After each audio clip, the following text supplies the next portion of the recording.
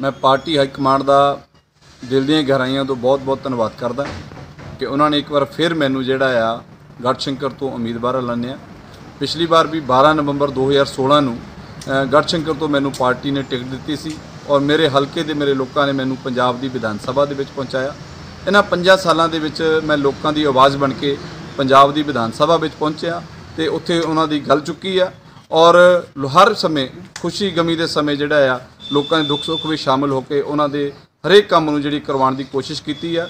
ਮੈਂ party high command ਨੂੰ ਆਪਣੇ ਗੜਸ਼ੰਕਰ ਦੇ ਸਾਡੇ ਸਾਰੇ ਹੀ ਵਰਕਰਾਂ ਵੱਲੋਂ ਜਿਹੜਾ ਹੈ ਵਿਸ਼ਵਾਸ ਦਿਵਾਉਣਾ ਚਾਹੁੰਦਾ ਕਿ ਗੜਸ਼ੰਕਰ ਦੀ ਸੀਟ ਤਾਂ ਅਸੀਂ ਆਮ ਆਦਮੀ ਪਾਰਟੀ ਦੀ ਝੋਲੀ ਵਿੱਚ 2020 ਚ ਪਾਵਾਂਗੇ ਹੀ। ਨਾਲ ਪੰਜਾਬ ਦੇ ਵਿੱਚ ਜਿਹੜਾ ਨਵਾਂ ਬਦਲ ਲੈ ਕੇ ਆਵਾਂਗੇ, ਪੰਜਾਬ ਦੇ ਵਿੱਚ 2022 ਦੇ ਵਿੱਚ ਆਮ ਆਦਮੀ ਪਾਰਟੀ ਦੀ ਸਰਕਾਰ ਲੈ ਕੇ ਆਵਾਂਗੇ, ਜਿਹਦੇ ਨਾਲ ਲੋਕਾਂ ਨੇ ਜਿਹੜਾ 75 ਸਾਲ ਤੋਂ ਜਿਹੜਾ ਲੋਕਾਂ ਦੇ ਦੁੱਖ ਦਰਦ ਜਿਹੜੇ ਆ, ਉਹ ਸਾਰੇ ਦੂਰ ਕਰਨ ਦੀ ਕੋਸ਼ਿਸ਼ ਕਰਾਂਗੇ।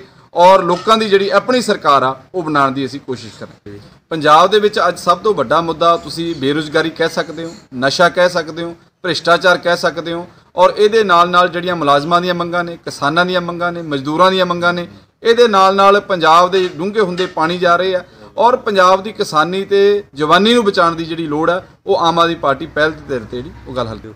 ਦੇਖੋ, ਆਮ ਆਦਮੀ ਪਾਰਟੀ ਦਾ ਮੁਕਾਬਲਾ ਨਾ ਤਾਂ ਕਾਂਗਰਸ ਨਾਲ ਆ, ਔਰ ਨਾ ਹੀ ਜਿਹੜਾ ਅਕਾਲੀ ਦਲ ਨਾਲ ਆ। ਸਾਡਾ ਮੁਕਾਬਲਾ ਜਿਹੜਾ ਉਹ ਬੇਰੁਜ਼ਗਾਰੀ ਨਾਲ ਆ, ਸਾਡਾ ਮੁਕਾਬਲਾ ਭ੍ਰਿਸ਼ਟਾਚਾਰ ਨਾਲ ਆ, ਸਾਡਾ ਮੁਕਾਬਲਾ ਮਹਿੰਗਾਈ ਦੇ ਨਾਲ ਆ। ਕਿਉਂਕਿ ਇਹਨਾਂ ਸਰਕਾਰਾਂ ਨੇ ਅੱਜ ਤੱਕ ਇਹੀ ਕੁਝ ਕੀਤਾ ਆ।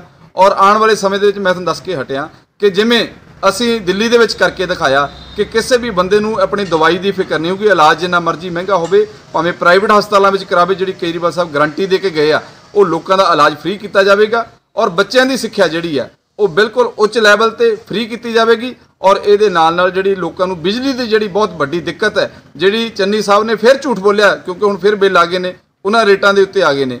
ਔਰ ਪੰਜਾਬ ਦੇ ਲੋਕਾਂ ਨੂੰ 600 ਯੂਨਿਟ, ਉਹ ਭਾਵੇਂ ਐਸਸੀ ਹੋਵੇ, ਭਾਵੇਂ ਬੀਸੀ ਹੋਵੇ, ਭਾਵੇਂ ਜਰਨਲ ਹੋਵੇ, ਹਰ ਵਰਗ ਨੂੰ ਜਿਹੜਾ ਹੈ ਉਹ ਮੁਫਤ ਦਿੱਤਾ ਜਾਵੇਗਾ। ਔਰ ਇਹਦੇ ਨਾਲ ਆਉਣ ਵਾਲੇ ਸਮੇਂ ਦੇ ਵਿੱਚ ਜੋ ਵੀ ਪਾਰਟੀ ਮੈਨੀਫੈਸਟੋ ਲੈ ਕੇ ਆਵੇਗੀ, ਉਹ ਪਹਿਲ ਦੇ ਆਧਾਰ ਤੇ ਪਹਿਲੇ ਮਹੀਨੇ ਹੱਲ ਕਰਾਂਗੇ। ਇਹ ਨਹੀਂ ਕਿ ਜਦੋਂ 5 ਸਾਲ ਬੀਤ ਗਏ, ਅਖੀਰਲੇ ਮਹੀਨੇ ਐਲਾਨ ਕਰਾਂਗੇ। ਦੇਖੋ, ਆਮ ਆਦਮੀ ਪਾਰਟੀ ਬਹੁਤ ਜਲਦ ਜਿਹੜਾ ਆ ਉਹ ਸੀਐਮ ਫੇਸ ਵੀ ਅਨਾਉਂਸ ਕਰਨ ਜਾ ਰਹੀ ਹੈ ਔਰ ਤੁਹਾਡਾ ਇੱਕ ਵਾਅਦਾ ਕਰਦੇ ਕਿ ਕਾਂਗਰਸ ਤੋਂ ਪਹਿਲਾਂ ਕਰ ਦੂਗੀ, ਕਿਉਂਕਿ ਕਾਂਗਰਸ ਦੇ ਵਿੱਚ ਤਾਂ ਪਾਟੋ ਧੜ ਪਈ ਪਈ ਹੈ। ਚੰਨੀ ਸਾਹਿਬ ਕਹਿੰਦੇ ਕਿ ਮੈਨੂੰ ਕਰਿਓ ਤੇ ਸਿੱਧੂ ਸਾਹਿਬ ਕਹਿੰਦੇ ਮੈਨੂੰ ਕਰਿਓ। ਅੱਜ ਆਮ ਆਦਮੀ ਪਾਰਟੀ ਪੰਜਾਬ ਦੇ ਲੋਕਾਂ ਨਾਲ ਇੱਕ ਵਾਅਦਾ ਕਰ ਰਹੀ ਹੈ ਕਿ ਬਹੁਤ ਹੀ ਜਲਦ ਜਿਹੜਾ ਸੀਐਮ ਫੇਸ ਅਸੀਂ ਅਨਾਉਂਸ ਕਰਨ ਜਾ ਰਹੇ ਹਾਂ।